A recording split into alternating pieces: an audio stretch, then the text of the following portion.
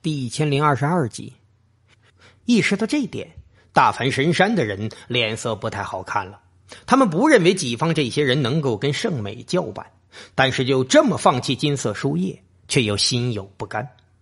韩露布下的冰冻结界对圣美而言形同虚设。他刚刚明明还在不知多远的星空外，下一刻他一步步踏出，身影在众人面前闪过，便出现在了冰冻结界中央，也在林明面前。他身穿一身蓝色衣裙，全身笼罩在奇异的光晕中，神秘而圣洁。因为他身体的光晕和迷蒙的雾气，让周围的舞者很难看清他的面容，只能感受到他神圣强大的气息，让人忍不住顶礼膜拜。人们都以为林明下一刻就会被圣美杀死，毕竟在圣美面前，林明就如同孩童一样，毫无反抗之力。这个小子运气真好，竟能死在浑后娘娘手里。浑后娘娘何等人物？她来只是为了金色书页而已。我们不需要娘娘出手，我们这些人就可以击杀林木。在浑天圣地，玉石生说道。他的话引起了很多人的认同。击杀林木这个下等种族出身的家伙，怎么能脏了娘娘的手呢？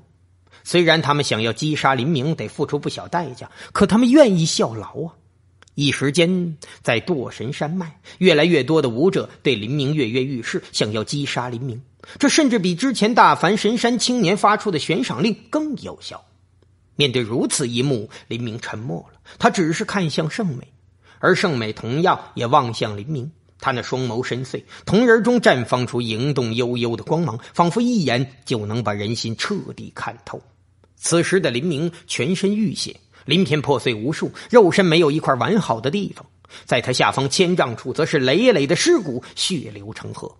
他是战场上的杀神，而站在林明对面的却是飘飘欲仙、一世独立的神女。血腥与圣洁，杀戮与柔美，在这一刻形成了无比鲜明的对比。林明和圣美似乎象征着武者世界的两个极端。时间仿佛在那一刻寂静下来。林明和圣美两个绝世天骄遥遥对视，而在他们身边却围拢着魂界无数的天才，一根根看台无声的伫立着，闪烁着神秘的符文法则光芒。林明以前可从没想过他会跟圣美在这等情况下见面。果然是你，圣美开口了，她的声音极为清丽，也没有灌注任何神元，但却在此时寂静无声的堕神山脉传出很远。你终于来了，林明开口，两人的声音无比清晰，一时间所有人全愣了。盛美跟林木认识啊。这个林木身世离奇，仿佛凭空冒出来的。盛美竟然知道他的身份。仔细想想，虽然这些人都不愿意承认，但不得不说，林木的天赋已经高到不可思议的程度，甚至未必比盛美差。两个绝世的人杰，竟然是旧识。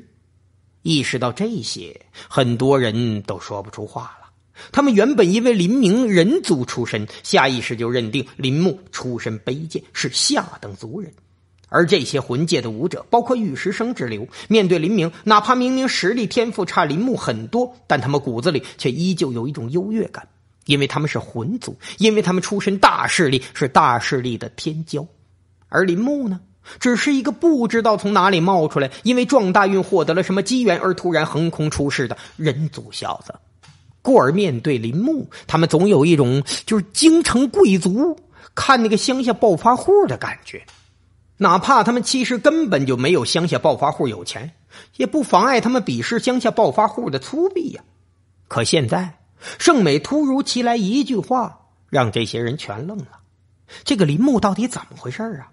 他怎么可能认识盛美啊？难道他也是顶级大势力出身吗？可魂界明明没有属于人族的大势力呀？难道他来自于其他宇宙？很多人想不出个所以然来。现在听圣美的口气，虽然不至于将林明列为与他等同的地位，但至少林木值得圣美认真对待。而这次圣美出关，又跨越不知道多少兆里来到堕神山脉，显而易见也是为了来见林木。但反观他们这些人，包括雨师生这些魂天圣地出身的弟子，却一概未入圣美的眼，甚至连招呼圣美都没打一个。这也是情理之中。皇帝嘛，自然不会跟平民打招呼，哪怕那是自己的子民。时间流逝，林明的伤口在缓缓蠕动，慢慢愈合。因为能量消耗太多，伤口愈合的速度极慢。显然，林明此时状态极为糟糕。看着林明的伤口，圣妹轻声道：“你似乎一直等我来见你，不过你现在的情况似乎不怎么好啊。如果我再晚一步，你怕是就要葬身这里了。没有了金色书页是小，甚至你的真身都会被大凡神王针对。而以大凡神王的实力，要找出你的真身并不难。”那个时候，怕是你根本别想离开魂界了。盛美脸上挂着一股淡淡的胜利者的微笑。相对林明而言，盛美确实是上位者。这是因为两人出身的差距和自身实力的差距产生的鸿沟，没法弥补。而且现在也是林明有求于人家盛美。金色书页可能保不住了，但我的真身未必有事。林明声音平静，虽然身处不利的境地，可他并没有示弱。哦，在真神追杀之下，你还有逃出升天的把握？只是不会坐以待毙罢了。林明还有一条退路，那就是退入修罗路。他有修罗令，可以通过修罗令回到修罗路。可回到修罗路也不那么简单呐，需要很长准备时间，而且也不能被打扰。如果这段时间内林明就被真神感知锁定，那结果可想而知。林明毫不怀疑，真神是有可能跨越异兆里的虚空，通过感知影响自己的精神之海，变相对自己出手的。你的修为似乎降了。林明虽然感受到圣美可怕的气息，但仔细观察圣美的魂海，林明却发现圣美的修为已经降到了界王境，不再是天尊初期。可他依旧保持着天尊的威压。他给林明的感觉也比普通天尊更可怕，这显然是因为他完成了大转生术第七转的原因。大转生术每一转都会让修为降低，同时骨龄也会随之降低。转生越彻底，这种改变幅度就越大。过些日子还会降的。圣美很坦然，他完成了大转生术第七转后，接下来的一年时间内，他那修为会一降再降，降得越低，效果越好。而之后，圣美会重新修炼，再修上来的速度将会快到不可思议，甚至数年之内连跳几个境界。你来魂界，是专程来找我的吧？之前林明在圆梦宇宙搅起这么大风波，又把名字写在圣美旁边，写下林寒冰三个字，这种种迹象表明，林明在告诉圣美，他来魂界了。林明找不到圣美，自然只能让圣美来见他了。说出你的目的吧。我想你不可能是来找我叙旧的，不过，如果你是为了人族和圣族大战而来，想人族跟魂族结盟，我只能说，你恐怕要白来一趟了，这是不可能的事儿。这样做对魂族并无好处。圣美这一番话让林明眉头一皱，他虽然早就料到此行不会太顺利，可没想到一开始圣美一句话就把他给堵死了，而且不留余地。看到林明的表情，盛梅已经确定了自己的猜测。他轻叹一声道：“看来果真如此了。除了这件事之外，我想不到还有什么事情能让你来魂界找我。你进入魂界，想必付出不小代价吧？跨越三十三重天的旅途极为困难，除非叹息神臂原本就被打通，否则就连圣美也难以穿过叹息神臂。”林明看着圣美，圣美看着林明。两人见面，陷入了十分尴尬的局面。而这时候，林明开口问道：“魂族与圣族，难道不是对手吗？你们之间曾经爆发大战，为何停止了？”魂族跟圣族确实都想吞掉对方，两族间也爆发过大战，但是那都是过去的事情了。现在因为一些原因，大战已经停止了。造化圣皇和魂族魂帝也已经达成了暂时的协议，而圣族只要完成一件事之后，就会着手覆灭人族。对圣族而言，灭亡人族并不是难事。凭你，无力回天。圣美声音冷漠，可他所说的却是事实。相对于圣族而言，现在的林明实在太弱。休战的原因是什么？这个涉及我族机密，无可奉告。如果，如果我能提供足够的筹码呢？嗯，林明心中一沉，深吸了一口气，一字一顿抛出了这句话。这回盛美可惊讶了，他望向林明，想象不出林明能拿出什么筹码来。没有永远的朋友，只有永远的利益。林明跟盛美算有点交情，可也最多是天骄之间的惺惺相惜。他可不指望盛美念及这点情分就帮自己。在这种情况下，林明想要促成人族魂族合作极为困难。林明认定，魂族与圣族因为某种利益而达成协议，甚至可能是圣族为了吞并人族而付出一定代价给魂帝，这才暂且休战。可无论如何，林明相信魂族跟圣族是死敌，这两个种族早晚有一天得爆发生死大战，宇宙的主宰最终只会是一个。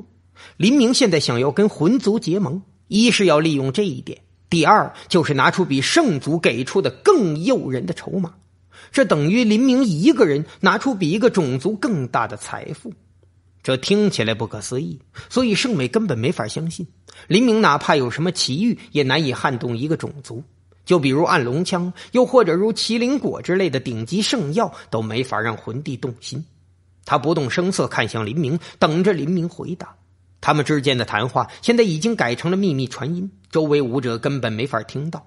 他们在外边只能看到林明和盛美交谈，但却不知道在谈什么，这让他们一时间不知道该怎么办了。大凡神山的人完全傻眼了。他们本来奉命来杀林明，然后夺取金色书页，可现在盛美横插一脚，他们只能眼睁睁看着。让他们在盛美面前出手，接他们个胆子，他们也不敢呢。林明慢慢转动着自己手上的须弥戒。他的气息不断的收敛，敛藏于体内世界聚集于魔方周围，将魔方层层覆盖。魔方是林明最重要的器物，也是魂族魂帝和圣美梦寐以求的东西。因为修炼圣典永生之法必须用到魔方。然而，这个最大筹码，林明不但不可能拿出来，反而要仔细的藏好，否则的话，后果不堪设想。现在面对圣美和他那仿佛洞察一切的目光，哪怕林明对魔方有信心，却也下意识将其小心隐藏。拿出筹码之前，我有问题要问你。你刚才说圣族因为有一件事情要完成，故而不能展开对人族的全面进攻。我想知道这件事情到底是什么，或者说圣族完成这件事情到底要多久？人族还有多少时间？林明在来魂界之前，就曾经听魔使天尊说过，圣族的入侵要比人族原本预料的要早得多，这让林明始终难以心安。他要在圣美口中得到准确的回答。圣美微微沉吟说道：“告诉你也无妨，是太古界遗迹的叛乱，你应该知道太古界遗迹吧？”太古界遗迹，林明眉梢一挑，微微点头。他自然知道，当年他与造化圣子一战，就从造化圣子口中听说过太古界遗迹。这似乎是宇宙中一块最古老的天地，里边有大量的秘境神藏，还有上古大能遗留的传承。圣族很多传承都是从太古界遗迹中发掘得到的，包括林明从造化圣子手中赢到的人族天尊突破真神之法，也是从太古界遗迹中得到的。圣美道，太古界遗迹位于圣族境内。但是，比邻太古界遗迹的还有一重宇宙，这一重宇宙中居住的全都是太古种族。百亿年前，百族争霸的时候，他们这些种族都曾经盛极一时，出过无数辉煌人物，但后来慢慢没落了。但他们联合起来，却是一股可怕力量。三十六亿年一次的大劫，部分宇宙的叹息神强开始减弱，战争爆发不断。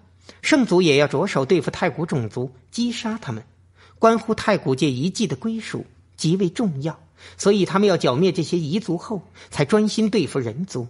这个时间也许持续八十年，也许一百年，我无法算准。原来是这样。听了圣美的话，林明心中感叹：太古遗迹毫无疑问是一处总财富不可想象的神藏。圣族守着这片神藏就有天然的优势，就像魂族守着圆梦宇宙一样。在这种情况下，圣族慢慢甩开人族，在三十六亿年前的那一次大劫，叹息神墙消失后大败人族，这也是不难理解的事儿。毕竟，只要圣族有几个人在太古界遗迹中得到经世传承，晋升为真神，就比人类强太多。每多一个真神，在两族大战中都是极大优势啊。可比起魂族来，圣族似乎并不占上风啊。好了，你的问题我已经回答了，可以说说你的筹码了。圣美看着林明，轻轻笑着，他好奇林明会拿出什么。我的筹码有三。林明伸出三根手指，他一个小辈想要打动一个种族，谈何容易？他只能倾尽所能，拿出自己所有能拿出的东西。第一，金色书页。林明声音清亮，灼灼看向圣美：“我会在圣族全面入侵人族之前，也就是八十到一百年的时间里，帮你拿齐圆梦宇宙所有剩下的金色书页。可我有个条件：每拿到一张金色书页，我可以给你。但是与此同时，我希望从你那里也得到一张金色书页，可以参悟观看。之后我可以还给你。我想以魂天圣地的底蕴，想必珍藏了不止一张金色书页吧。林明说出自己第一个筹码，而盛美却笑了。你倒是自信，算盘也打得精妙。盛美的话语中蕴含了一丝淡淡的讽刺。你的筹码等于是用我魂族的东西当好处送给我魂族。而且你还要观看我魂天圣地的金色书页，对你自己都大有好处，这也算筹码。我不管金色书页是不是属于魂族，可问题是，你们暂时拿不到，不是吗？林明声音淡漠，并没有因为圣美的言语而乱了手脚。圣美的发问，他早就预料到了。确实难拿，但你也太自信了些。你以为你是万能的？圆梦宇宙那些好拿的金色书页早就被人拿走了，剩余的一个比一个难。当年魂界祖先创造圆梦宇宙，他定下的标准是按照百亿年前来的。那个时候天骄辈出，远不是现在能比的。想拿金色书页，只有达到百亿年前最强天才的标准，不可能有任何投机取巧。你什么都不了解，就想八十到一百年时间内集齐金色书页，我怎么可能信你？我承认你是天骄，我甚至承认你的同阶战力在我之上。可你别忘了，我的大转生术还未圆满。我在完成七转后，天赋再度提高。可即便如此，一些金色书页我也完全没把握拿到。就拿着堕神山脉来说，在这片勘台上，想要悟道通彻，拿到金色书页谈何容易？而且这涉及到魂族法则，在这个领域，我比你擅长。我这次来堕神山脉，也是在完成第七次转生后，顺便在此悟道。我不认为你有半分胜过我的可能。圣没有自己的骄傲，他不会轻信林明的。然而林明没有被压制，他淡淡道：“事在人为，嘴上说说没有任何意义。你说的都是道理。也许有些金色书页你能拿到，可我却拿不到；但同样也有金色书页我能拿到，你却拿不到。你不试试？”又知如何呀？何况我还有其他两个筹码。继续，盛美声音漠然。显然，林明的第一个条件并不能让他动心。第二个，永生之法。林明语出惊人，盛美的眼眸一下子亮了。一向云淡风轻的他，却失去了往日的镇定。你说什么？他一双眸子盯住了林明的精神之海，似乎要看穿林明的灵魂。而此时，林明高度紧张，将永生之法的诱饵抛出来也是无奈之举，因为他清楚金色书页的分量不够。如圣美所说，金色书页本来就属于魂族的东西，而且林明能不能拿到，这还两说。圣美看了林明好久，林明道：“我可以和你一起参演永生之法，也许会有意想不到的效果。”圣美听了林明的话。目光露出一分疑惑不解之色，他喃喃自语道：“你明明不是魂族，可你的灵魂却有一分永恒之魂的特性，但又不全是。奇怪，永生之法需要永恒之魂为引。圣美虽然是魂族天骄，但也没有永恒之魂。永生之法的诱惑实在太大，甚至要超过大转生术。谁不想永生啊？”圣美没法拒绝这个条件，哪怕他感觉林明根本不是永恒之魂，也难以学会永生之法，但总好过有个希望。